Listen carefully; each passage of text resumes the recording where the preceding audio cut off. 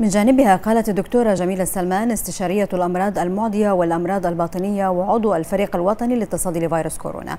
إن عدد حالات الإصابة بفيروس كورونا وصل إلى 1950 حالة مشيرة إلى أن أغلب تلك الحالات مستقرة ولا تحتاج إلى علاج. كما أكدت السلمان أن المملكة سجلت أعلى معدل تعافي على مستوى العالم حيث وصلت عدد حالات الشفاء من المرض إلى 1762 حالة.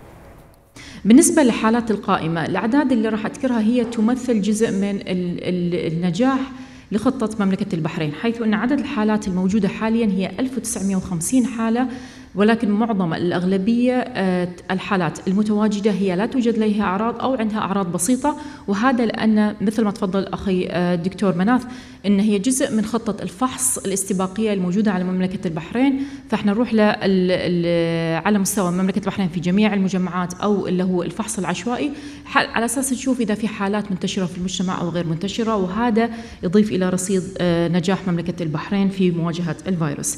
بالنسبة إلى التعافي هذا نجاح آخر. فعدد المتعافين هو 1762 وهذه من أعلى نسب التعافي على يعني معظم آه، دول العالم وليس فقط المنطقة.